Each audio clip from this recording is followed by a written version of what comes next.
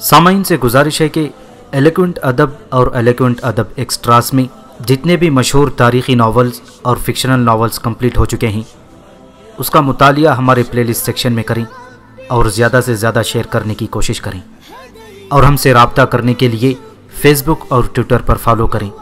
जजाकल्ला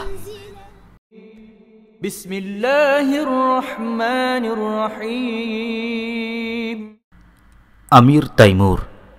दी अर्थ शेकर जिसने दुनिया हिला डाली। एपिसोड 19 मुल्तान से कूच करने के पाँच रोज़ बाद तैमूर की फ़ौज एक अजीम जंगल के सामने पहुँच गई और यहाँ सफ़री रहनुमाओं ने मशवरा दिया कि वो अपने खाने पीने की अशिया खैमों के अंदर छुपा लें, वरना वहाँ मौजूद बंदर सब कुछ उड़ा ले जाएँगे। उन्होंने वो रात जंगल में ही बसर की और अगली सुबह तैमूर की आँख एक अजीब शोर की आवाज़ सुनकर खुली। तैमूर ने खैमे से बाहर निकलकर आवाज़ पर कान लगाई। यूँ लग रहा था, जैसे हज़ारों औरतें मिलकर आहोजारी कर रही हों। जैसे ही दिन का उजाला फैला, दरख्तों की शाखों पर हज़ारों बंदर नज़र आने लगी। देखते ही देखते उनकी तादाद लाखों तक पहुँच गई। दरख्तों पर इस कदर बंदर नज़र आ रहे थे कि तैमूर ने कभी ज़मीन पर चूंटियों को इस कदर कसीर तादाद में ना देखा। सफ़री रहनुमाओं ने बताया कि वो अजीम जंगल जिससे वो गुज़र रहे थे, चौड़ाई में इतना ज़्यादा ना था। ताहम इस बात से कोई भी वाकिफ़ ना था कि उसकी लंबाई कितनी है। जंगल की लंबाई शुमाल से जनूब की तरफ़ फैली हुई थी, लेकिन चूँकि वो लोग मशरक़ की तरफ़ जा रहे थे, लिहाजा वो जंगल की चौड़ाई को पाँच दिनों में पार कर सकते थे। पूरा जंगल बंदरों से भरा हुआ था। मुल्तान से रवाना होते हुए सफ़र रहनुमाओं ने उन्हें इंसानों को खा जाने वाले बंदरों की कहानियाँ सुनाई थीं, मगर तैमूर ने उन कहानियों पर यकीन न किया था, क्योंकि वो जानता था कि बंदर शेर और चीते की तरह गोश्तखोर नहीं होते। लेकिन उस रोज़ जब उसने लाखों बंदरों को दरख्तों पर देखा तो उसे उन कहानियों पर यकीन आ गया। तैमूर ने दिल में कहा कि जब ये बंदर भूखे हों तो कोई बईद नहीं कि ये इंसानों पर हमला करके उनका गोश्त भी खा जाते हों। इस जंगल में इस कदर बंदर थे कि अगर उनमें से हर बंदर सिर्फ़ एक फल रोज़ाना खाता तो भी जंगल में कोई फल बाकी ना बच पाता।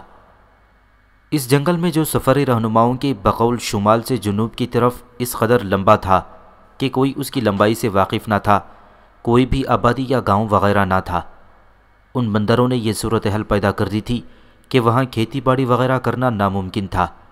किसी आबादी का वजूद भी आना तो दूर की बात थी। हिंदू लोग उस जंगल में जो भी फ़सल काश्त करते, वो सारी की सारी उन बंदरों के पेट में चली जाती। ये बंदर गंदम की फ़सल को उसके खुश्क होने से पहले ही सारे का सारा चट कर जाते थे। उन बंदरों को कोई रोकता भी ना था, क्योंकि हिंदू जानवरों को मारने के खिलाफ थी, बल्कि उनकी पूजा किया करते थे। ख़ास तौर पर बंदरों को देवता मानते थे। नतीजतन बंदर हिंदुओं के खेतों से जो कुछ खा सकते, चट कर जाते, और हिंदू खुद भूखे रह जाते। तैमूर और उसकी फ़ौज मुसलसल पाँच रोज़ तक जंगल में मशरक़ की जानब सफ़र करती रही और इस दौरान उन्हें सुबह शाम हर लम्हा दरख्तों पर बंदर ही बंदर नज़र आते रहे। बाज़ात ये बंदर उन्हें इस कदर तंग करते कि उन्हें तीरों की मदद से निशाना बनाना पड़ता और जब उनमें से कुछ मारे जाते तो बाकी पीछे हट जाते, मगर उनकी तदाद इस कदर ज़्यादा थी कि वो उनके रास्ते में मुसलसल उछल कूद करते रहे और तैमूर के सिपाहियों को उन्हें फासले पर रखने के लिए तीरों से निशाना बनाना पड़ता। पाँच रोज़ के मुसलसल सफ़र के बाद वो लोग जंगल से निकल आई और सफ़री रहनुमाओं ने बताया कि अगले रोज़ वो मीरठ के किले तक पहुँच जाएँगी। इससे आगे वो लोग दलदली इलाके में दाखिल हो गई और जिस रास्ते से वो गुज़र सकते थे, वो कोई छः से बारह मीटर चौड़ा था। और अगर वो उससे ज़्यादा शुमाल की तरफ़ बढ़ते तो दलदल में फंस सकते थे और अगर जुनूब की तरफ़ ज़्यादा बढ़ते तो उस तरफ़ भी दलदल मुँह खोले उनकी मुंतज़र थी। चुनाचे उन्हें दरमियान में तंग रास्ते से ही आहिस्ता गुजरना था। मेरठ के किले के पास खुश्क इलाका ज़्यादा वसी था। ताहम किले से आगे उनका रास्ता एक बार फिर दलदली इलाकों पर मुश्तमिल था। चुनाचे उन्हें खुश्क रास्ते से हटे बगैर अपनी मंजिल मकसूद की तरफ़ बढ़ना था। जंगल से निकलने के बाद तैमूर की फ़ौज की नकलो हरकत में तब्दीली आ गई और वो लोग जंगी सफ़ आरई की सूरत में आगे बढ़ने लगे। हती कि मेरठ का किला जो कि एक पहाड़ी के ऊपर बना हुआ था, दूर से नज़र आने लगा। तैमूर ने फौरी तौर पर ठहरने और फौजी छावनी कायम करने का हुक्म दिया। एक ऐसी छावनी जिस पर हमले की सूरत में सिपाही अपना दिफा कर सकें। जब छावनी कायम कर दी गई तो तैमूर ने अपने सरदारों को इकट्ठा किया, ताकि उनसे कहे कि वो अपने सिपाहियों को जमा करके उन्हें नए अहकाम से आगाह करें। तैमूर के सरदार एक बड़े खेमे में जमा हो गए जो ऐसे ही मकासद के लिए नस्ब किया जाता था। फिर तैमूर ने उनसे कहा, आज तक हमने जिन ममालिक के ख़िलाफ़ जंगें लड़ी हैं, उनके पास हाथी ना थी। लेकिन अब हम जिस मुल्क में बरसर पैकार हैं, उनका एक जंगी हथियार हाथी है। तुम सबने ईरान में हाथी देखा है और जानते हो कि हाथी चारा खाने वाला जानवर है, ताहम उसके सींग और सुम नहीं होते। अगर हाथी शेर, चीते या तेंदुए जैसा जानवर होता तो मैं तुम लोगों के खौफजदा होने को शायद बजा समझता, मगर एक चारा खाने वाले जानवर से भला क्या डरना, जिसके सींग और सुम नहीं होती, और जो दुलती भी नहीं मार सकता। लिहाजा अपने सिपाहियों को भी अच्छी तरह समझा दो, कि हाथी एक बहुत बड़े जस्से के सिवा और कुछ भी नहीं है, और एक ऐसा जानवर है, जिसे तलवार के एक वार से बासानी गिराया जा सकता है। उसकी सूंड काटने से या तलवार का वार उसके बदन पर पड़ने से उसे गिराया जा सकता है। अपने सिपाहियों को बता दो कि हाथी किसी को तकलीफ़ नहीं पहुँचा सकता। बुजस इसके कि आदमी उसके पाँव तले आ जाए या फिर उसके पाँव आदमी के सीने पर रखे जाएँ। तुम्हारे सिपाही उस जानवर से मामूली सी तकलीफ़ उठाए बगैर ही उसके पेट के नीचे पहुंचकर तलवार या नेज़े के एक वार से उसके पेट में सुराख कर सकते हैं। जिनमें ज़्यादा ताकत हो, वो हाथी के घुटनों को तीर के एक ही वार से चीर सकते हैं। और यही वजह है कि एक ही वार हाथी को बेकार कर सकता है। अपने सिपाहियों को बता दो कि घोड़ा हाथी की नस्बत ज़्यादा ख़तरनाक है, क्योंकि उसके सुम होते ही। लिहाजा जब वो हाथी को अपने नज़दीक आता देखें, जिस पर हौदा कसा हुआ होता है और महावत उस पर सवार हो तो जान लें कि ये ज़्यादा ख़तरे की बात नहीं है, क्योंकि इससे कहीं ज़्यादा ख़तरे की बात यह है कि कमानदारी से भरी हुई गाड़ी उनकी तरफ़ आ रही हो, क्योंकि गाड़ी को गिराना बहुत मुश्किल काम है, जबकि हाथी को बेकार करना बिलखसूस हमारे आहने लिबास पहने हुए सिपाहियों के लिए बेहद आसान है। उसके बाद तैमूर ने अब्दाल कुलजई को मुखातिब करते हुए कहा, अय अमीर, अब मैं तुमसे मुखातिब हूँ। तुम्हें चाहिए कि अपने खलाबदार सिपाहियों से कहो कि हाथियों को गिराने के लिए तैयार हो जाएँ। मेरे ख्याल से तेरे सिपाहियों के लिए कलाब इस्तेमाल करने का बेहतरीन मौका यह है कि वो हाथियों की सूंड या उसके घुटनों पर कलाब फेंकें।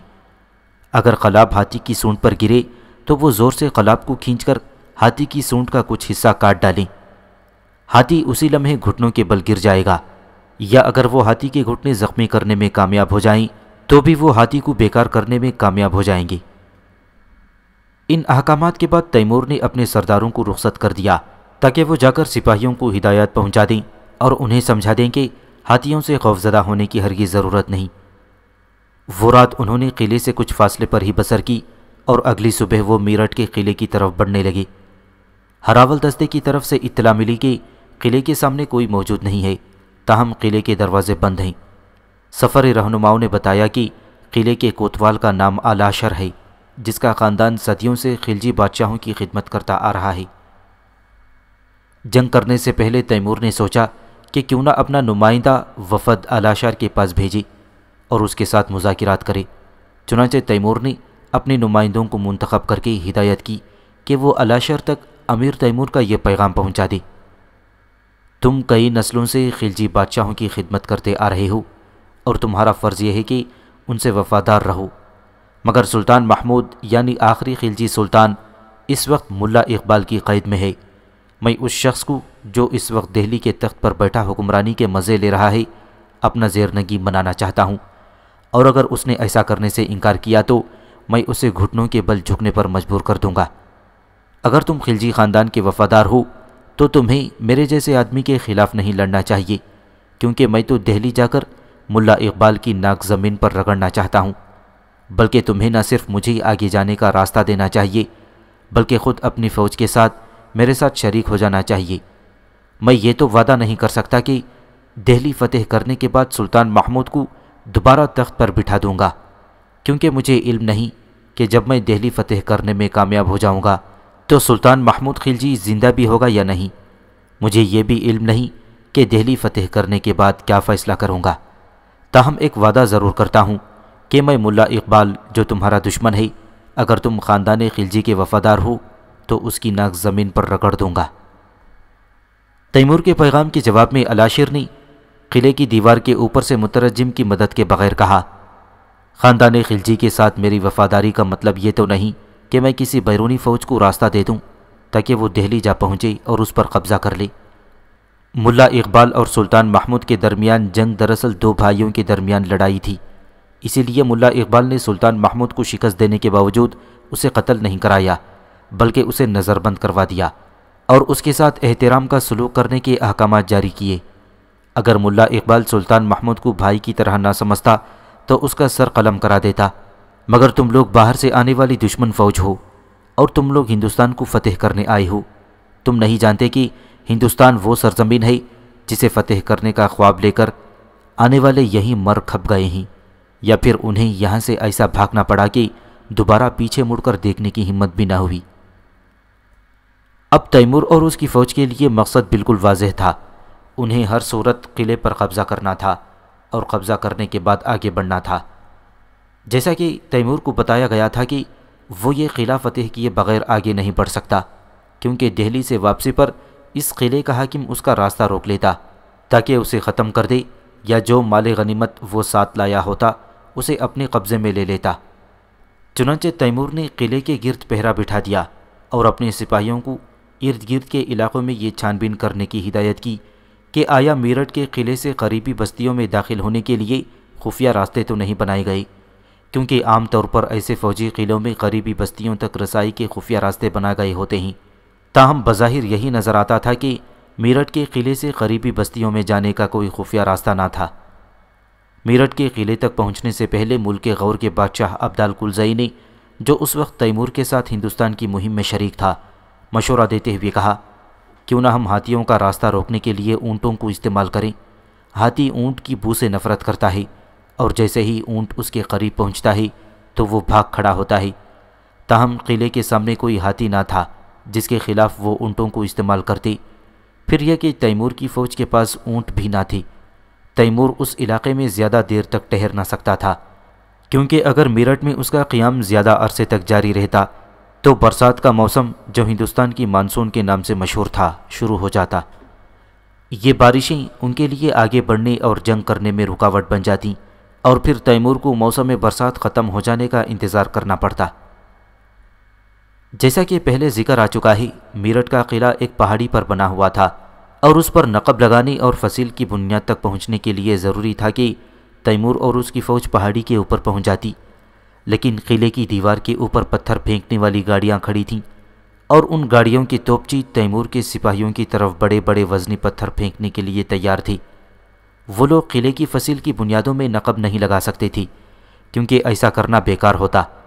तैमूर के मामारों ने बताया कि फसील की बुनियादों में पत्थर हैं, जिनके बाइस वहाँ खुदाई करना मुमकिन ना था। अब उनके पास इसके सिवा कोई रास्ता ना था कि टीले पर चढ़कर ऐसी जगह पहुँच जाती, जहाँ नकब लगाना मुमकिन था।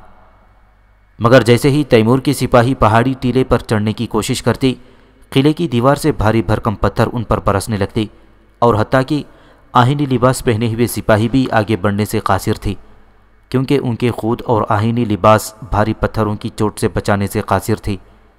यूँ लगता था जैसे फसील के रखवालों ने बरसों के लिए पत्थरों का ज़ख़ीरा जमा कर रखा हो, क्योंकि वो मुसलसल पत्थरों की बारिश कर रही थी। और एक लम्हे के लिए भी ऐसा ना लगता कि उन्हें पत्थरों की कमी का सामना है। ये सूरत हाल देखकर अब्दाल कुलजई तैमूर से कहने लगा, अय अमीर अगर तुम ऊपर से नकब लगाना चाहते हो तो तुम्हें चाहिए कि अपने सिपाहियों के सरों को बचाने का कोई इंतज़ाम करो, ताकि बड़े बड़े पत्थर उन्हें हिलाक ना कर सकें। मगर यह भी उस वक्त तक मुमकिन नहीं, जब तक कि तुम्हारे सिपाही रात के वक्त पहाड़ी टीले पर चढ़कर किले के इर्द गिर्द मज़बूत हिफाजती पनाहगाहें ना बना लें। तैमूर ने मुल्क गौर के बादशाह अब्दाल कुलजई का मशवरा तस्लीम कर लिया, क्योंकि नकब खोदने का और कोई रास्ता ना था। तैमूर के हुक्म पर उसके सिपाहियों ने बहुत सी हिफाजती पनाहगाहें बनाने का सामान तैयार कर लिया। उन्होंने ये काम इस तरह अंजाम देने का फ़ैसला किया कि दुश्मन यूँ समझे कि जैसे वो लोग किले के गिर्द बहुत से बुर्ज बनाने का इरादा रखते हैं, ताकि उन बुर्जों से महसूरीन पर पत्थर फेंकें या उन्हें तीरों से निशाना बनाएँ। जब पनागाहें तामीर करने का मवाद जमा हो गया तो तैमूर के सिपाहियों ने रात के वक्त जबकि पत्थर फेंकने वाली गाड़ियों का ख़तरा कम था। मुख्तलिफ़ मकाम पर उस मवाद को पहाड़ी के ऊपर पहुँचा दिया और फिर उन्होंने किले के गिर्द बेशुमार पनाहगाहें और बुर्ज बनाने शुरू कर दिए। ये पनाहगाहें इस तरह तामीर की गई थीं ताकि किले के पहरेदार नकब में दाखिल होने की जगह ना देख सकें और बुर्ज तामीर करने का मकसद दरअसल पहरेदारों को धोखा देना था। अगर वो लोग सिर्फ़ एक पनाहगाह तामीर करते तो पहरेदारों को पता चल जाता कि किले की बुनियाद में नकब का रास्ता वहाँ ही। इसीलिए उन्होंने बेशुमार पनाहगाहें तामीर की, ताकि किले के पहरेदार यकीनी तौर पर ना जान सकें कि नकब लगाने के लिए खुदाई कहाँ की गई है। तैमूर के सिपाही रातों को काम करते रहते, ताहम दिन का उजाला फैलने से पहले ही वापस टीले के मैदान में चले जाते। पहले दिन जब किले के कोतवाल अलाशिर ने पनाहगाहें तामीर करने का मसाला देखा तो उसे ख़तन खबर ना हुई कि तैमूर के सिपाही क्या करना चाहते हैं। ताहम दूसरे दिन उसे पता चल गया कि वो बुर्ज बनाना चाहते थे, क्योंकि बुर्ज नामुकम्मल हालात में खड़े हो चुके थे। उसने ख्याल किया कि तैमूर के सिपाही किले पर हमले के लिए उन बुर्जों को इस्तेमाल करना चाहते हैं। चुनाचे उस रोज़ से अलाशिर ने उनके बनाए बुर्जों पर संगबारी के अहकाम जारी कर दिए और उसके तोपची रोज़ाना भारी पत्थर बरसाकर तैमूर के सिपाहियों की तरफ़ से बनाए गए बुर्जों को मसमार करने के लिए पत्थर बरसाने में मसरूफ़ रहते। चुनाचे कभी कभार बड़े बड़े पत्थर उन बुर्जों पर आ गिरते और उनके कुछ हिस्सों को मसमार कर देते। मगर अगली रात तैमूर के सिपाही उन बुर्जों को दोबारा तामीर करके उन्हें मज़ीद बुलंद कर देते। तैमूर इस बात का मुंतज़र था कि अलाशिर उनके बुर्जों को गिराने के लिए अपने सिपाही किले से बाहर भेजे और वो अपने बेलचों की मदद से बुर्जों को गिरा दें। अगर वो ऐसा करता तो तैमूर अपने सिपाहियों को उनके मुकाबले पर भेज देता, मगर अलाशिर ने अपने सिपाहियों को बाहर ना भेजा। यूँ लगता था कि वो इस बारे में पुरयकीन था कि उसके बनाए बुर्ज बेकार थी और यह कि तैमूर की फ़ौज उन बुर्जों की मदद से किले को फतेह ना कर सकती थी।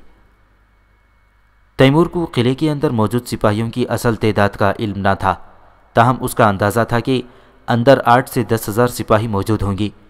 मेरठ का किला खालिसता फ़ौजी नौीयत का था, इसलिए वहाँ औरतों और बच्चों को नहीं ले जाया जाता था। इसीलिए वहाँ के पहरेदार ज़्यादा बेफिक्री और आसानी से दिफा कर सकते थे। तैमूर के मामारों में से शेर बहराम मारवाजी ने नकब लगाने के लिए दो सुरंगें खोदने का फ़ैसला किया, ताकि अगर एक नकब के रास्ते में कोई रुकावट वगैरह आ जाए या किसी और वजह से वो किले की दीवार तक ना पहुँच सके तो दूसरी नकब कारामद साबित हो। शेर बहराम मारवाजी एक ऐसा शख्स था जिसकी आबा व अजदाद हमेशा से मामार रही थी। और एक माहिर मामार होने के साथ साथ वो एक बेहतरीन ज़मीन का मुआयना करने वाला था। वो जैसे ही किसी ज़मीन को देखता तो फ़ौर जान लेता कि आया इस ज़मीन के नीचे पानी है या नहीं। तैमूर ने ऐसे बहुत से माहिर मामार देखे थे, जो ज़मीन की सतह पर कुछ आसार देखकर बता देते थे कि आया उसके नीचे पानी है या नहीं। मगर शेर बहराम मारवाजी ऐसा माहिर मामार था, कि जो बग़ैर किसी निशानी के ही महज ज़मीन की सतह देकर ही बता देता था कि आया उसके नीचे पानी है या नहीं। दोनों सुरंगों की खुदाई उसी रात शुरू हो गई और जबकि ये सुरंगें खोदी जा रही थीं, तैमूर ने अपने सिपाहियों को बारूद तैयार करने का हुक्म दिया। अगरचे वो लोग अपने साथ बारूद लेकर आए थे, मगर वो बारिशों के बाइस गीला हो गया था और कुछ दर्रा खैबर से गुजरते हुए पानी में डूबकर बेकार हो गया था।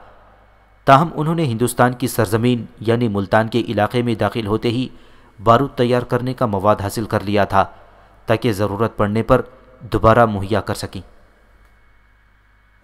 सुरंगों की खुदाई के आगाज़ के बाद तैमूर के सिपाही दिन और रात दोनों अवकात में खुदाई करते रहते, क्योंकि ये सुरंगें पनाहगाहों के अंदर खोदी जा रही थीं और किले के पहरेदार उन्हें देख ना सकते थे।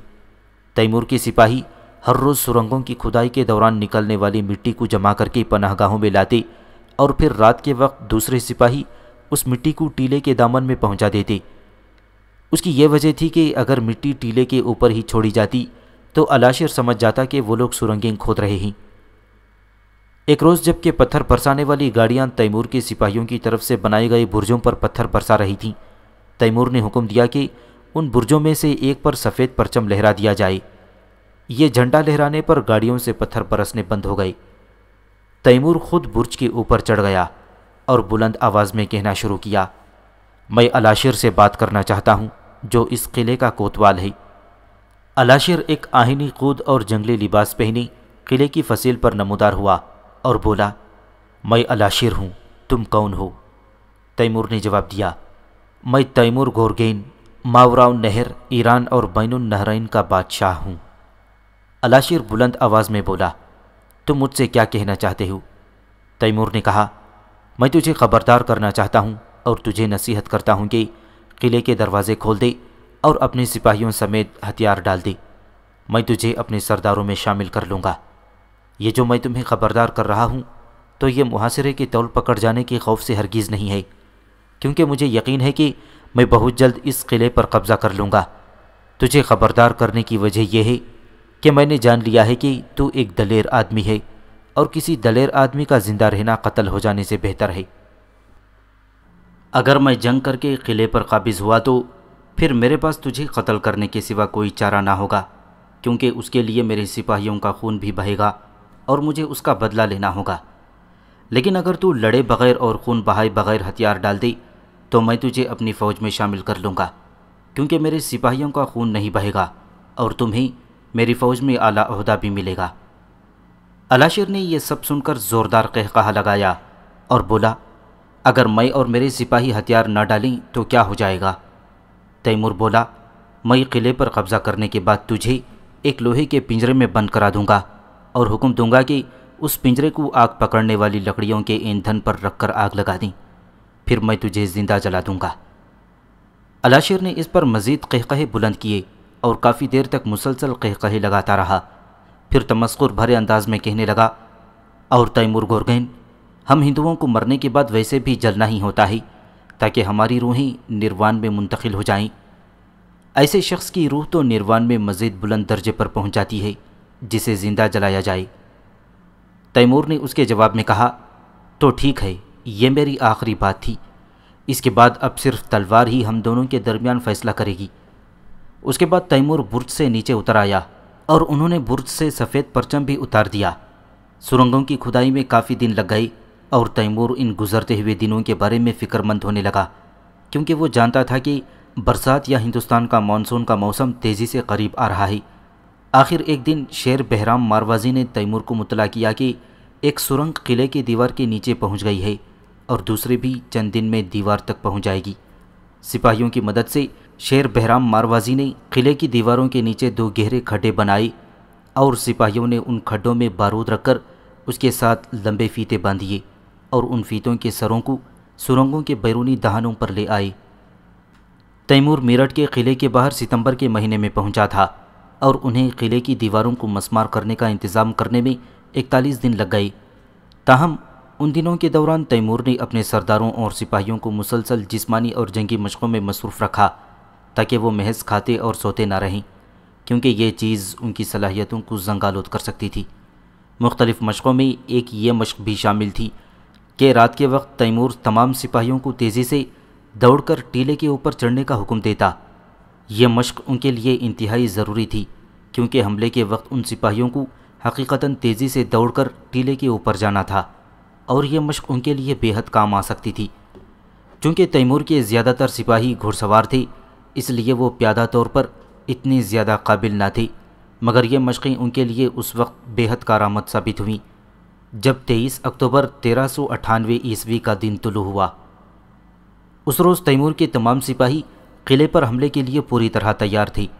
दिन का उजाला फैलने से पहले मौसम अचानक बेहद सर्द हो गया, और हालाँकि तैमूर मौसम बरसात की आमद के बारे में फ़िक्रमंद था, मगर उसने मौसम के सर्द होने को एक अच्छी निशानी तस्वुर किया। क्योंकि इसका मतलब था कि उसके सिपाहियों को जंग के दौरान गर्मी की शिदत का सामना करना पड़ेगा। जैसे ही दिन का उजाला नमदार हुआ और रात का अंधेरा छट गया, तैमूर ने इशारा किया कि फ़ीतों को आग लगा दी जाए। जिन सिपाहियों ने फ़ीतों को आग लगाई, वो बड़ी तेज़ी से टीले से नीचे उतर आई तैमूर के आहन पोश सिपाही और मुल्क गौर के कलाब फेंकने वाले, जिन्हें पहली सफ़ में हमला करना था, किले पर हमले करने के लिए तैयार हो गई अचानक ज़मीन अपनी बुनियादों तक लरज उठी और ऐसी आवाज़ पैदा हुई, जैसे हज़ारों बिजलियाँ बैक वक्त कड़क रही हों और मेरठ के किले की दीवारें दो मकाम पर टुकड़ों की सूरत मसमार हो गईं। तैमूर अच्छी तरह जानता था कि दुश्मन दीवारों के गिरने से इस कदर खौफजदा और हवास बागता होगा कि कुछ वक्त के लिए ये समझ ही नहीं सकेगा कि क्या किया जाए। लिहाजा उन्हें दुश्मन के खौफ और बौखलाहट का फ़ायदा उठाना था और उन्हें गैर मुतव तौर पर जा लेना था। तैमूर के इशारे पर आहनपोश सिपाही और कलाब फेंकने वाली एक ही सांस लेने की मोहलत में टीले पर चढ़ गई। दुश्मन की पत्थर फेंकने वाली गाड़ियाँ उन पर पत्थर फेंक सकीं और न ही उनकी तरफ़ तीर ही चलाए गए बल्कि इससे पहले ही तैमूर के सिपाही किले के अंदर दाखिल हो गए। उस वक्त तक भी दुश्मन दीवारों के मसमार होने की हैरत और खौफ से ना निकला था। नतीजा ये हुआ कि अलाशिर के ज़्यादातर सिपाही छोटे छोटे ग्रोहों में तकसीम होकर हथियार डालते चले गए। जब किले पर हमला हुआ तो अलाशिर ने अपने सिपाहियों को तैमूर के सिपाहियों के खिलाफ दिफा के लिए लाना चाहा, मगर जंग को उसी रोज़ ख़त्म करने के लिए तैमूर ने अपने सिपाहियों की कसीर तदाद को उस हमले में इस्तेमाल किया था। चुनाचे दोपहर से कुछ पहले ही अलाशिर गिरफ़्तार हो गया और उसी लम्हे जंग ख़त्म हो गई। तैमूर ने अलाशिर के गिरफ़्तार होने वाले सिपाहियों को हुक्म दिया कि वो मरने वालों की लाशें किले से बाहर मुंतकल कर दें। किला मेरठ के अंदर, जो कि एक मज़बूत जंगी हिसार तस्वुर होता था बढ़इयों और लोहारों के औज़ार मौजूद थे। तैमूर ने हुक्म दिया कि धात के सलाखों से एक पिंजरा बनाया जाए। पिंजरा फ़ौरन तैयार हो गया। अलाशिर को उसमें बिठा दिया गया और तैमूर के सामने पिंजरा हाजिर कर दिया गया। तैमूर के सामने ईंधन का एक बहुत बड़ा ज़ख़ीरा जमा था और तैमूर ने कहना शुरू किया अय इंसान, मैंने तुझे ख़बरदार किया था और बता दिया था कि अगर मेरे सिपाहियों का खून बहा तो मैं तुझे ज़िंदा जला दूँगा। और तू समझा कि मैं मज़ाक कर रहा हूँ।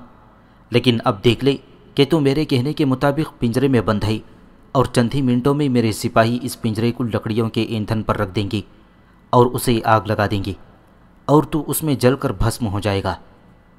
तैमूर को तो थी कि अब मौत को सामने देखकर शायद अलाशिर रहम की दरख्वास्त करेगा और तैमूर से दरख्वास्त करेगा कि वो उसे ज़िंदा जलाने का इरादा तब्दील कर दे और उसे किसी और तरीके से कत्ल करा दे। मगर अलाशिर बोला, अय तैमूर गोरगेन, मैं तुझे पहले ही बता चुका हूँ कि हम हिंदुओं को आखिरकार जलना ही होता है और जो शख्स ज़िंदा जला दिया जाता है, वो बाकी लोगों की नस्बत निर्वाण में कहीं बेहतर जगह हासिल करेगा। उसी लम्हे हवा चलने लगी, जो आग जलाने के लिए साजगार थी। चुनाचे तैमूर ने हुक्म दिया कि अलाशिर के पिंजरे को लकड़ियों के ज़ख़ीरे पर रखकर उसे आग लगा दी जाए। लकड़ियों के ज़ख़ीरे के नीचे आग भड़क उठी। लेकिन इससे पहले कि आग पूरी तरह फैलती, तेज़ हवा ने उसे बुझाना शुरू कर दिया। आसमान पर तूफ़ान बाद बारह के आसार नमूदार हो गई और देखते ही देखते सियाह बादलों ने आसमान को घेर लिया और तेज़ हवा भी चलने लगी।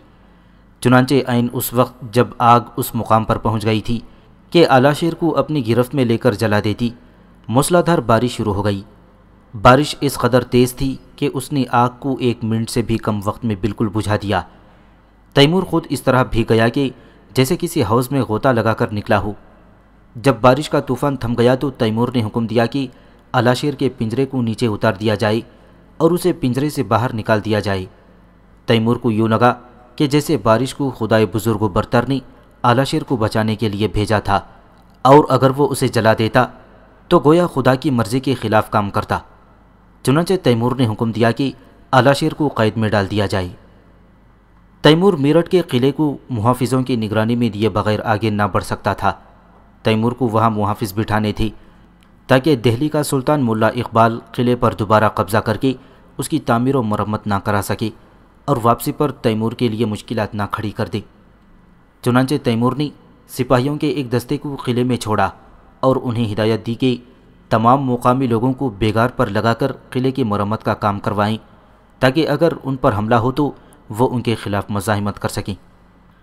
जब किले की चार दीवारी की मरम्मत के काम का आगाज़ हो गया और जिन सिपाहियों को किले में ठहरना था, उनकी खुराक वगैरह मुहैया हो गई तो तैमूर वहाँ से रवाना हो गया। वो लोग मशरक़ की तरफ़ बढ़ रहे थी। ताहम फ़ौज के आगे चलने वाले हरावल दस्ते शुमालन जनूबन भी हर शय पर नज़र रखे हुए थे। अगरचे उनके शुमाल और जनूब में दलदली इलाके थे, फिर भी तैमूर उन दोनों अतराफ़ की तरफ़ से कतई बेफिक्र ना हो सकता था। क्योंकि मुमकिन था कि दुश्मन उन दोनों सिमतों से ही उन पर हमला आवर हो जाता। मेरठ के किले से कूच करने से पहले ही कराकान जिसने समरकंद में तैमूर की बेटी से शादी की थी, उनसे आ मिला था और उसने बताया कि कोयटा के सुल्तान अब्दुल्ला वाली अलमलिक ने उसकी बेहद रहनुमाई और मदद की और यह कि अब्दुल्ला वाली अलमलिक की मदद के बगैर वो उन तक ना पहुँच सकता था। खरा खान ने पहले ही दिन एक ऐसी चीज़ की तरफ़ तवज्जह दिलाई जिसके बारे में ख़ुद तैमूर या किसी भी दूसरे शख्स ने तवज्जह ना दी थी। उसने जिस बारे में बात की, वो उसके सफ़र के रास्ते के बारे में थी। करा खान का कहना था कि, आखिर ये क्या मामला है कि इस सारे रास्ते के इर्द गिर्द जहाँ वो सफ़र कर रहे थे, दलदली जंगल फैले हुए थे, मगर उनका रास्ता खुश्क था। यानी इसमें जंगल तो थे, मगर दलदली नहीं। तैमूर समेत कोई भी करा खान के सवाल का जवाब ना दे सका, और इस बारे में कुछ ना बता सका कि एक वसी व अरीज़ दलदली इलाके के वस्त में जिस हिस्से पर वो आगे बढ़ रहे थे, वो खुश क्यों था? तैमूर ने हुक्म दिया कि इस बाबत मुकामी बाशिंदों से पूछगछ की जाए।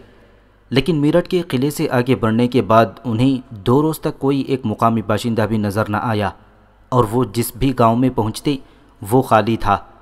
ये वाजह था कि मुकामी बाशिंदे अपने घरों को छोड़कर चले गए हैं, और उनके आने के खौफ से भाग खड़े हुए हैं। उन्होंने इन दो दिनों के दौरान बहुत कम मुकामी बाशिंदों को देखा। हालाँकि मेरठ के किले तक पहुँचने से पहले वो बहुत से मुकामी लोगों को देखते आए थे। मेरठ के किले से कूच के बाद, दो दिन तक मुसलसल सफ़र के बाद, वो एक ऐसे इलाके में ठहर गई जहाँ अभी उनके शुमाल और जुनूब में दलदल जंगल ही नज़र आ रहा था।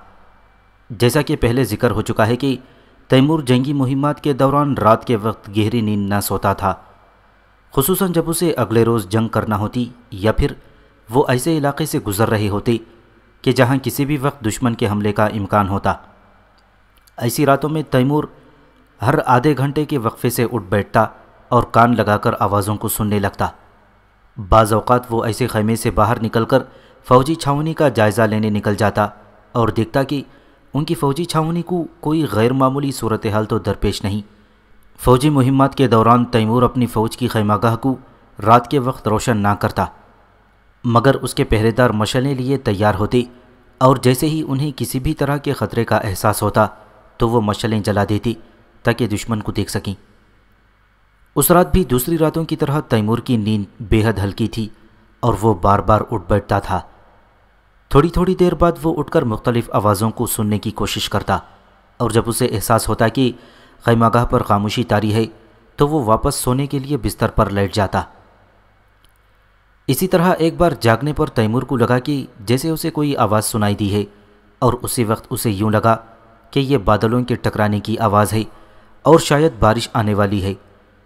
लेकिन अगले ही लम्हे उसे महसूस हुआ कि वो आवाज़ दरअसल ज़मीन के अंदर से आ रही है, न कि आसमान से। तैमूर फ़ौरन बिस्तर से उठ बैठा, और अपना आहिनी खुद सर पर जमा लिया। तैमूर के खैमे से बाहर निकलने से पहले ही खबरदार करने वाले नकारे बज गई और पूरी खैमागाह जाग उठी। अपने खैमे से बाहर आने पर तैमूर ने देखा कि खैमागाह के अतराफ़ में मशलें रोशन थीं। अब उसे यकीन हो गया कि उन पर दुश्मन ने शबखून मारा ही। तैमूर को यकीन था कि उन पर हमला करने वाली फ़ौज दलदली जंगल से आई हुई है, क्योंकि अगर वो किसी भी और सिमत से आती तो उनके हरावल दस्ते ज़रूर उन्हें देख लेती। खैमागाह में सिपाहियों के जागने से पैदा होने वाली आवाज़ में वो आवाज़ दब गई, जो ज़मीन के अंदर से आ रही थी। तैमूर गौर से देखने लगा, ताकि मालूम कर सके कि दुश्मन किस तरफ़ से हमला आवर हुआ था। लेकिन फिर उसी लम्हे उसे दूर से आवाज़ सुनाई दी, जो चीख कर कह रही थी, हाथी हाथी। करा खान, जो खैमागाह के मुहाफिजों का सरदार था, तैमूर तक दौड़ता हुआ उस अंदाज में पहुँचा कि जब वो तैमूर के सामने आया तो उसका सांस फूला हुआ था। वो बोला, अय अमीर, हाथियों की एक बड़ी तादाद हम पर हमला आवर होने वाली थी, मगर पहरेदारों के चिल्लाने और मशोलों के जलाए जाने से वो वापस मुड़ गई और वो खैमगाह के इंतहाई शुमाल से दूसरी तरफ़ निकल गए हैं। मगर उन हाथियों पर कोई बैठा हुआ ना था और ना ही उनकी पीठ पर कोई कजावा या बुर्ज वगैरह ही बंधा हुआ था। मैं जा रहा हूँ ताकि पूरी तरह तहकीक करूँ, फिर नतीजा तुम्हें आकर मुतला करता हूँ। चूँकि दुश्मन के हमले की कोई खबर ना थी, लिहाजा तैमूर ने हुक्म दिया कि सिपाहियों को सोने दिया जाए, ताकि वो अगली सुबह सफ़र करने के काबिल हो सकें। उस रात तैमूर को वही आवाज़ बार बार सुनाई देती रही, जिसका ज़िक्र पहले आ चुका है, और वो बार बार उसे सुनकर बेदार होता रहा, और उसके साथ पहरेदारों के चीखने की आवाज़ें भी आती रहीं। मगर हर बार उन्हें पता चलता कि हाथियों का झुंड वहाँ से गुजर रहा है। करा खान तैमूर के सामने हाजिर हुआ और कहने लगा अय अमीर, मैंने मुकामी रहनुमाओं से तहकीक की है, जो हिंदुस्तान के रहने वाले हैं, और उन्होंने बताया है कि ये जंगली हाथी हैं, जो दरिया की तरफ़ भाग रहे हैं। तैमूर ने हुक्म दिया कि सफ़र रहनुमाओं को उसके हुजूर पेश किया जाए। जब वो आए तो तैमूर ने उनसे पूछा, क्या दलदली जंगल में पानी नहीं है, जो हाथी पानी के लिए दरिया की तरफ़ भाग रहे हैं? सफ़र रहनुमा कहने लगे, जंगलों में पानी वाफिर मकदार में मौजूद है मगर वहाँ कोई दरिया नहीं है कि जिसमें हाथी नहा सकें और ख़ुद को धो सकें। जंगली हाथी की यह आदत होती है कि वो हर सुबह खुद को पानी से धोता है। तैमूर को मालूम था कि उनके रास्ते में दरिया मौजूद था और वो अगली सुबह उस तक पहुँचने वाले थी। तैमूर जल्द अज जल्द उस दरिया को पार करना चाहता था, ताकि हिंदुस्तान का मौसम बरसात यानी मानसून शुरू होने से पहले वहाँ से गुजर जाए, क्योंकि बरसात शुरू होने पर दरिया में सैलाब का ख़तरा था। जो उनके दरिया ऊपर करने में मुश्किल खड़ी कर सकता था। जब मेरठ के किले में मौसलाधार बारिश हुई तो तैमूर उसी वक्त से मुसलसल बारिशों का मुंतज़र था। लेकिन वो ये भी जानता था कि हिंदुस्तान का मानसून का मौसम अभी शुरू नहीं हुआ था, और खुदा ने वो ख़ास बारिश दरअसल अलाशिर को बचाने के लिए बरसाई थी, ताकि वो आग जो अलाशिर को जलाने वाली थी, वो बुझ जाए। अगली सुबह खैमागाह लपेट दी गई। और वो लोग दोबारा रास्ते पर आगे बढ़ने लगी। तकरीबन 12 किलोमीटर का फासला तय करके वो एक गाँव में पहुँच गई। इस बार गाँव के रहने वाले उनके खौफ से ना भागे थी और तैमूर ने उनसे एक मुतरजम के ज़रिए हाथियों के बारे में दरियाफ्त किया। उन्होंने उस आग और राख के ढेरों की तरफ़ इशारा किया, जो गाँव की हदूद के गिरद रखे गए थी, और बताया कि वो लोग हर रात गाँव के बाहर आग जला देते हैं, ताकि हाथी जब रात को दरिया की तरफ़ भागते हुए आएँ तो गाँव में दाखिल होकर बर्बादी ना फैलाएँ तैमूर ने उनसे पूछा, क्या हाथी तमाम मौसमों में दरिया की तरफ़ भागते हैं? मुकामी लोगों ने उसका जवाब हाँ में दिया। मगर साथ ही बताया कि जंगली हाथी जो दरिया के दोनों जानब जंगल में मौजूद हैं, सिर्फ़ बरसात के मौसम में दरिया की तरफ़ नहीं जाती, क्योंकि बारिश का पानी ही उन्हें नहला देता है और उन्हें दरिया में जाकर नहाने की ज़रूरत नहीं पड़ती। तैमूर ने उन लोगों से मज़ीद पूछा दरिया के दोनों अतराफ से तुम्हारा क्या मतलब है? मुकामी लोगों ने उसे बताया, जो दरिया के उस पार लोले नाम की किले की राह में मौजूद हैं। इस मौके पर खराकान बोला, मैं जानना चाहूँगा कि आखिर क्या वजह है कि इस खत्े में हर तरफ़ दलदली जंगल हैं, मगर ये जगह खुश्क है? एक हिंदू ने जवाब देते हुए कहा, दरअसल, हाथियों के आने जाने से ही ये जगह खुश्क हो गई है। चूँकि इस जवाब पर उस हिंदू ने तैमूर खराकान और दूसरे लोगों की हैरत देख ली थी। इसलिए वो खुद ही कहने लगा, इस पर हैरान ना हूँ।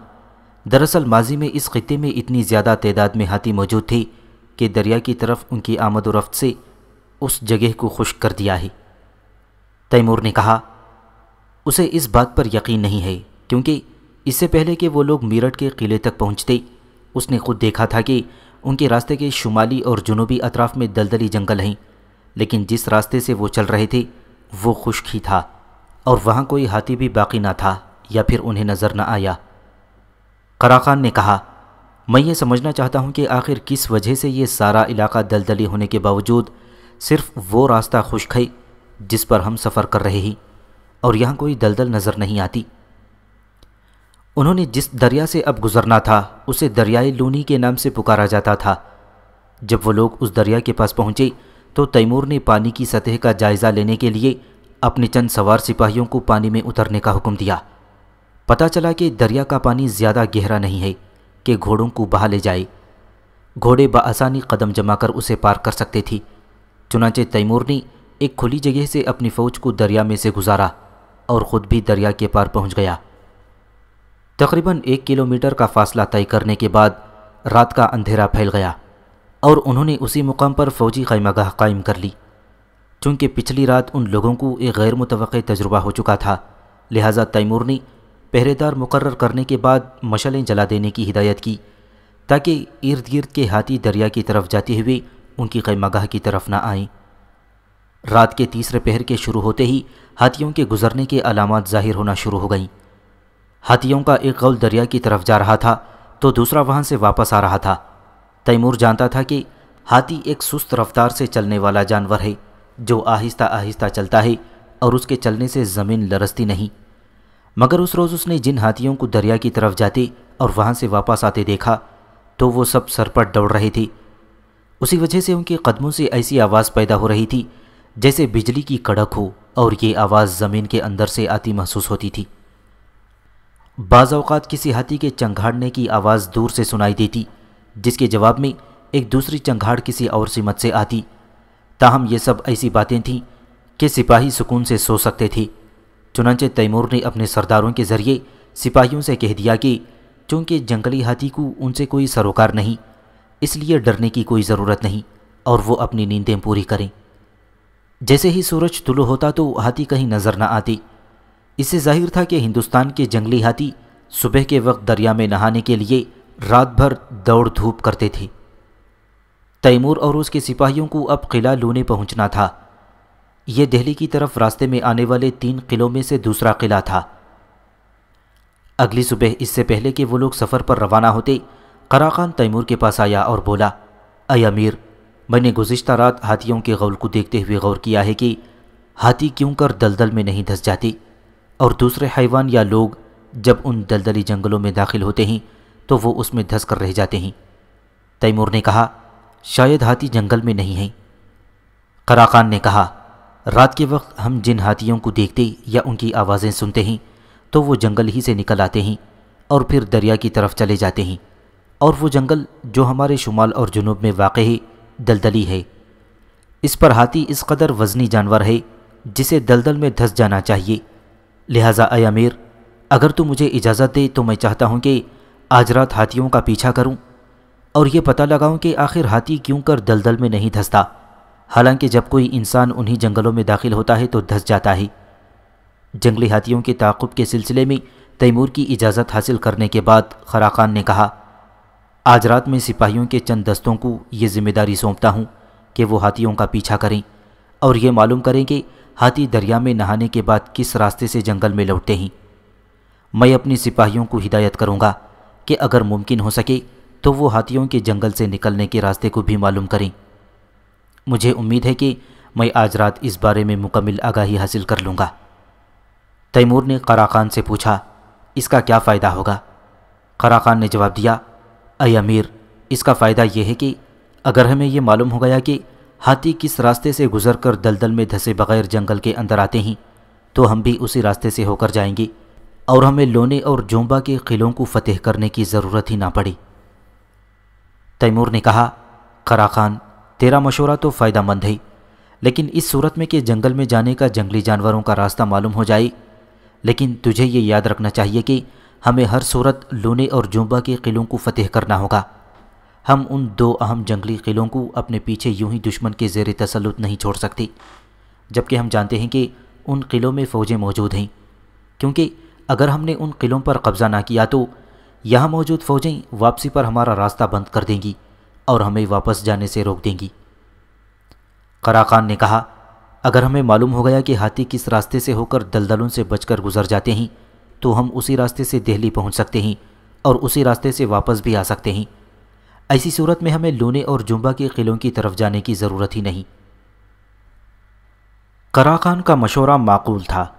अगर वो उस रास्ते का पता लगाने में कामयाब हो जाती, जिससे शुमाल और जुनूब में वाक़ जंगल में दाखिल हुआ जा सकता था तो उन्हें आगे जाने और फिर वापस आने के लिए लोने और जोम्बा के किलों से गुजरने की ज़रूरत ही ना थी। तैमूर ने कराकान को हिदायत की कि वो इस मकसद के लिए मुकामी लोगों की भी मदद ले और उनसे कहे कि अगर वो मेहनत और तवज्जह से काम करेंगे तो उन्हें उसका बेहद ज़बरदस्त इनाम मिलेगा। उसके साथ तैमूर ने कराकान को कुछ रकम भी दी कि वो मुकामी लोगों को इनाम और मुआवजा देने के लिए खर्च करे और फिर तैमूर की फ़ौज अपनी मंजिल की तरफ़ चल पड़ी। उस रोज़ उनका गुज़र कई मुकामी आबादियों से हुआ। मुकामी आबादियों के लोग उनसे खौफजदा ना थी, क्योंकि तैमूर अपने हरावल दस्तों को पहले ही हिदायत कर दी थी कि मुकामी लोगों पर यह वाजह कर दें कि उन्हें उनसे कुछ लेना देना नहीं है। वो लोग तो महज वहाँ से गुज़रने वाले मुसाफिर हैं और उन्हें अपना गाँव छोड़कर जाने की कोई ज़रूरत नहीं। क्योंकि उनकी जान को कोई ख़तरा नहीं। अगर उन्हें कुछ ख़रीदना होगा तो वो उसका मुआवजा ज़रूर अदा करेंगी।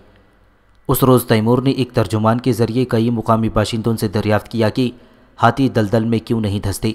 हालाँकि वो इस कदर भारी भरकम जानवर हैं, मगर इस सवाल का एक ही जवाब उसे बार बार सुनने को मिला, और वो ये था कि हाथी इसलिए दलदल में नहीं डूबता कि वो विष्णु देवता का रूप है। दरअसल हिंदुओं के बेशुमार देवता थी। जिनमें से दूसरे देवता का नाम विष्णु था। उनके अकीदे के मुआफ़ विष्णु कोई भी रूप इख्तियार कर सकता है और हाथी उसके इख्तियार किए हुए मुख्तलिफ़ रूपों में से एक रूप है। और चूँकि वो एक देवता है, इसलिए वो दलदल में नहीं धंसता, लेकिन एक इंसान दलदल में धंस जाता है। ज़ाहिर है, तैमूर को इन बातों पर कतई यकीन ना आया कि हाथी चूँकि देवता है, इसलिए दलदल में नहीं डूबता तैमूर को दहली के बारे में कोई खबर ना थी, लेकिन वो ये ज़रूर जानता था कि अगरचे वो तेज़ रफ्तारी से आगे बढ़ रही थी, मगर वहाँ उन लोगों के करीब पहुँचने की इतला पहुँच चुकी थी। जिस बात की तैमूर को खबर ना थी, वो ये थी कि मुल्ला इकबाल वाली दहली ने यह सुनकर कि तैमूर दहली के करीब पहुँच रहा है। सुल्तान महमूद खिलजी को रिहा कर दिया था, जो कि उसकी कैद में था और उसे तैमूर के ख़िलाफ़ मुतहद होकर मुकाबला करने का मुतालबा किया था। सुल्तान महमूद ने मुल्ला इकबाल की तजवीज़ मान ली थी और वो दोनों तैमूर के ख़िलाफ़ मुतहद हो गए थे। लोगों का कहना था कि तैमूर चूँकि एक सहरा नशीन आदमी है और उसकी ज़्यादातर उम्र सहरा ही में बसर हुई है। मज़ीद ये कि वो सहरा गर्दों की तरह गर्मियों, सर्दियों के ठिकाने तब्दील करता रहता है। इसलिए वो हकीकत में आबादी का मुखालिफ और उससे ला ताल्लुक़ है। इसी वजह से वो जब किसी शहर में पहुँचता है तो उसे वीरान कर देता है, क्योंकि वो आबादी को पसंद ही नहीं करता। जो लोग तैमूर के बारे में इस तरह की बातें किया करते थे, अगर वो शहर कैश को देख लेती जो तैमूर ने तामीर करवाया तो यकीनन वो तैमूर के बारे में अपने नज़रियात तब्दील कर लेती और वो ये जान लेती कि तैमूर ऐसा आदमी हरगिज़ नहीं, जो महज इस वजह से कि वो आबादी का मुखालिफ और उसके सम्राट से बेखबर है, शहरों को बिला वजह तबाह करता है। हकीकत में, तैमूर उन शहरों को वीरान करता था, जो उसके मुकाबले पर आने की ज़रूरत करते थे और उसके सामने मजाहिमत करते थे और तैमूर को इस बात पर मजबूर करते थे कि वो उन शहरों पर कब्ज़ा करने के लिए अखराज बर्दाश्त करे और अपने सिपाहियों का खून बहाई चुनाचे ऐसे शहरों को तैमूर कुछ इस तरह वीरान करता कि फिर आने वाले ज़मानों में भी उनका नामो निशान न मिलता और वो लोगों के लिए इबरत का सामान बन जाती। ताहम उन शहरों में भी वो चार किस्म के लोगों को जिनका ज़िक्र पहले कई बार आ चुका है, वो लाजिमन अमान देता था और बाकियों को नेस्तो नाबूद कर देता। ताहम ऐसा कभी ना हुआ कि कोई शहर उसके सामने इतात तस्लीम कर ले और फिर भी वो उस शहर को तबाह करने या उसके बाशिंदों को कत्ल करने के लिए अहकाम सादिर कर दे। दरअसल तैमूर के नज़दीक जंग का ये उसूल था कि जब कोई शहर मुकाबले पर उतर आए और मजाहिमत करे तो फतेह के बाद उसे तबाह करना और उसके बाशिंदों को तहत करना जायज़ है। ये कानून उसने ना बनाया था। ये दरअसल उसके दादा, याद रहे तैमूर महज तफाखुर के तौर पर ख़ुद को चंगेज़ी नस्ल से बताता था। उसके दादा चंगेज़ खान का बनाया हुआ था। बल्कि ये कहा जा सकता है कि चंगेज़ खान ने तो महज इस उसूल पर अमल किया और उसको वज़ा करने वाले तो नामालूम ज़माने के लोग थे। बहरहाल, ये बात साबित शुदा थी कि शहर में रहने वाले लोग सहराओं में रहने वालों से कम हिम्मत वाले थे। तैमूर पर यह बात अया हो गई थी कि शहर में रहने से इंसान राहत तलब और ऐशो इशरत का आदि हो जाता है और उसमें जंग करने की सलाहियतें बाकी नहीं रहती। यही वजह थी कि तैमूर ने चालीस बरस की उम्र से लेकर अपनी आखिरी उम्र तक सारी ज़िंदगी सहरा और बयाबानों में ही गुजार दी, ताकि ऐसा ना हो कि शहर में रहने की आदत उसे भी आराम पसंद और काहिल बना दे। जिस रोज़ वो लोग दहली की तरफ़ रवाना हुए, तैमूर ने अपने सरदारों को इस बात पर मामूर किया कि वो तमाम सिपाहियों को हिदायत कर दें कि मुकामी लोगों को तंग ना करें और गाँव वालों से कोई सरोकार ना रखें। उन्हें उनके हाल पर छोड़ दें। ताकि वो अपने अकायद और तरीक़ों के मुताबिक आज़ादाना तौर पर ज़िंदगी गुजारते रहें। ताहम जिस इलाके से वो लोग गुज़र रहे थे, वहाँ जिस हिंदू गाँव के लोगों ने उन पर हमले में पहल की तो तैमूर ने उन सबको तहत करा दिया। और एक गाँव में तो एक इंसान भी ज़िंदा ना बचा। तैमूर ने ऐसा इसलिए किया ताकि हिंदू ये जान लें कि अगर वो तस्लीम होकर रहेंगी तो वो उन्हें कोई नुकसान ना पहुँचाएगा। लेकिन अगर उन्होंने मजाहिम होने की ज़रूरत की और उनके खिलाफ हाथ उठाया तो उन्हें नेस्तो नाबूद कर दिया जाएगा। जिस रोज़ सुबह सवेरे उन्हें लूने के किले पहुँचना था करा खान तैमूर के पास आया और कहने लगा, हमने उन रास्तों में से एक का पता चला लिया ही, जिससे गुजरकर हाथी दलदली जंगल में से गुजरते हैं। करा खान कहने लगा, मैंने जिन सिपाहियों को ये ज़िम्मेदारी सौंपी थी, वो हाथियों का पीछा करें। उन्होंने पता लगाया है कि हाथी किला लोने की जानब में ऐसे खुश्क रास्ते से होकर जंगल में जाते हैं जो किले की मशरक़ी सीमत की तरफ़ चला जाता है। अगर तुम अपनी फ़ौज को उस रास्ते से गुजार लो तो तुम्हें किले पर कब्ज़े की ज़रूरत ना होगी। तुम उसी रास्ते से आगे जा सकते हो और फिर वापसी पर भी उसी रास्ते को इख्तियार कर सकते हो। तैमूर ने पूछा, ये रास्ता किस तरफ़ से जाता है? करा खान ने कहा यह ऐसा खुश्क रास्ता है जो दलदलों के दरमियान से गुज़रता है। ये पचास से एक सौ फीट चौड़ा है तैमूर ने करा खान से पूछा, क्या तूने खुद ये रास्ता देखा है? उसने कहा, नहीं, अय अमीर, मैंने खुद तो नहीं देखा, मगर मैंने जिन सिपाहियों को ये काम सौंपा था, उन्होंने उसे ज़रूर देखा है। सिपाहियों ने कहा, उनकी बताई हुई बात काबिल भरोसा नहीं, क्योंकि वो फ़ौज के सरदारों में से नहीं, और उन्हें एक फ़ौज को किसी जगह से गुजारने में दरपेश मुश्किल का सही अदराक नहीं। तुम खुद जाकर मालूम करो कि आया वो रास्ता इस काबिल है कि उसमें से बड़ी फ़ौज को गुजारा जा सकता है या नहीं। अगर दलदलों के दरमियान ऐसा कोई रास्ता मौजूद है तो यह नामुमकिन है कि हिंदू उससे नावाकिफ़ हों। जब तुम उसे देखने जाओ तो मोहतात रहना। कहीं हिंदू हमें किसी घात लगाई जगह में ना जा फंसाएँ।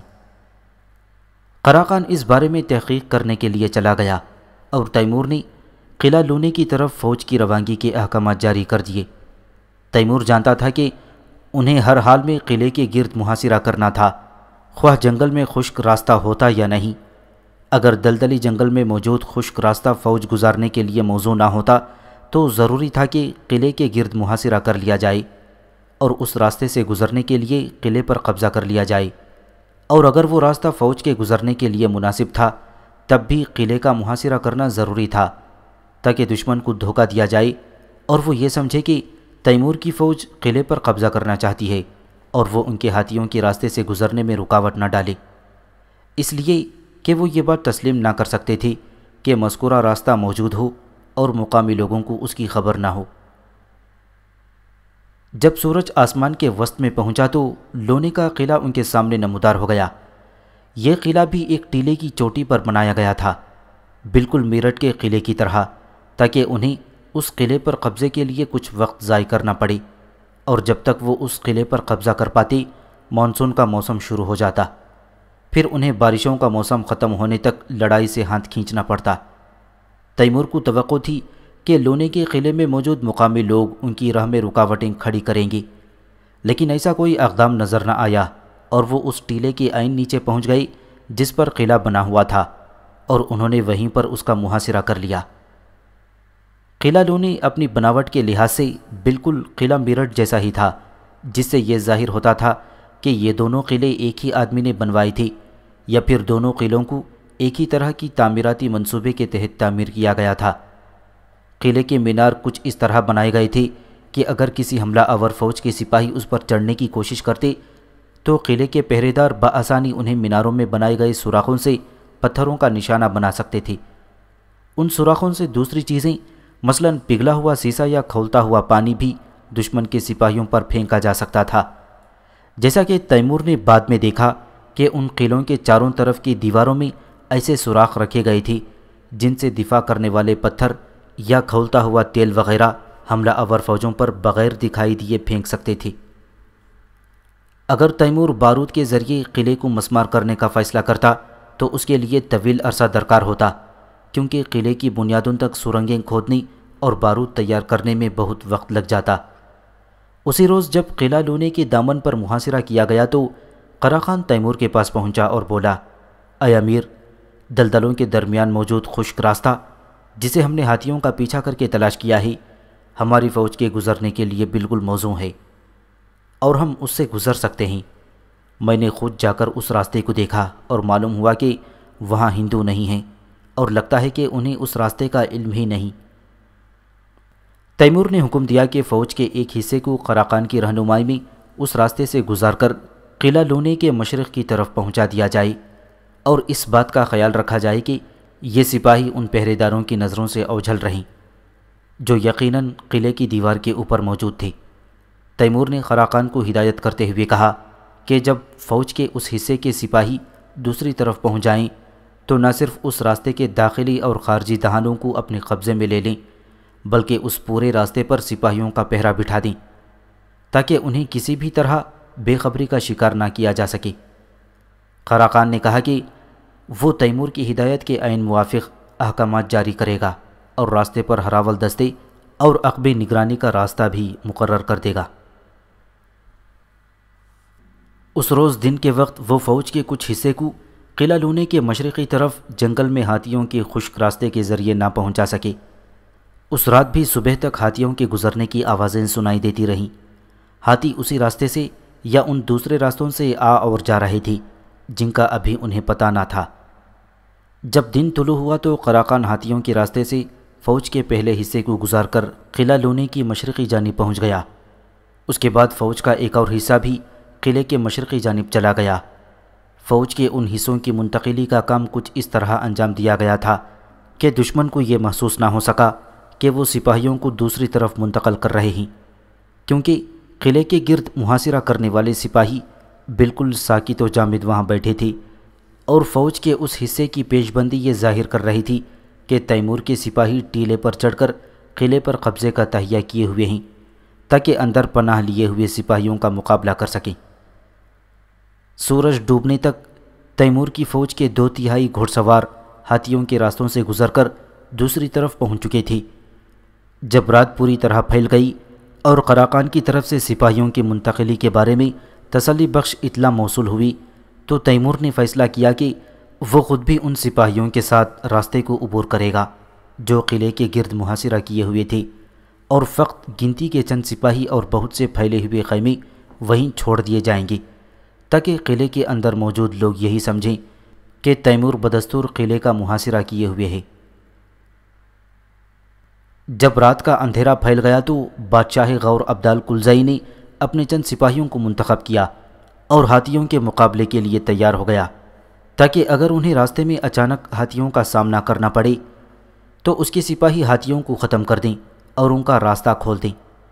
हाथियों का ये मामूल था कि वो आधी रात गए दरिया की तरफ़ ज़रूर जाती थी। लिहाजा उनके पास आधी रात का वक्त था कि उस रास्ते को अबूर करके किले के मशरक़ी जानी पहुँच जाती। मुकामी सफ़री रहनुमाओं ने बताया कि आधी रात से कबल हाथियों के किसी गौल से सामना होने के इम्कान बहुत कम थे। लेकिन चूँकि उन जंगली जानवरों से सामना होने का मामूली सा इम्कान मौजूद था, इसलिए अब्दाल कुलजई के सिपाहियों को ये ज़िम्मेदारी सौंपी गई थी कि वो आगे आगे चलें और हाथियों के रास्ते में आने की सूरत में उन्हें वापस मोड़ दें या फिर मार डालें। शायद ये दास्तान पढ़ने वालों के जहन में ये सवाल उभरे कि तैमूर ने किला लोने का चक्कर काटकर अपनी फ़ौज को दूसरी तरफ़ पहुँचाने के लिए दलदली जंगल के रास्ते का इंतखब क्यों किया और आम रास्ते पर क्यों ना चला? तो उसकी दो वजूहत थीं। एक तो ये थी कि किला लोने के इस तरफ़ जो मामूली रास्ता था वो इतना तंग होता चला गया था कि एक तंग दरे की शक्ल इख्तियार कर गया था। और तैमूर को इस बात का इल्म था कि दुश्मन ने उस रास्ते के दोनों तरफ़ कब्ज़ा जमा रखा है और उस तंग रास्ते से गुजरने में उसकी फ़ौज को बेहद नुकसान उठाना पड़ सकता था। दूसरी वजह यह थी कि तैमूर दुश्मन को ये पता ही ना चलने देता था कि वो चक्कर काट कर किले की दूसरी तरफ़ पहुँच गया है। यही बेहतर था कि दुश्मन उसी ख्याल में रहे कि तैमूर अपनी पूरी फ़ौज के साथ उनका मुहासिरा किए हुए है।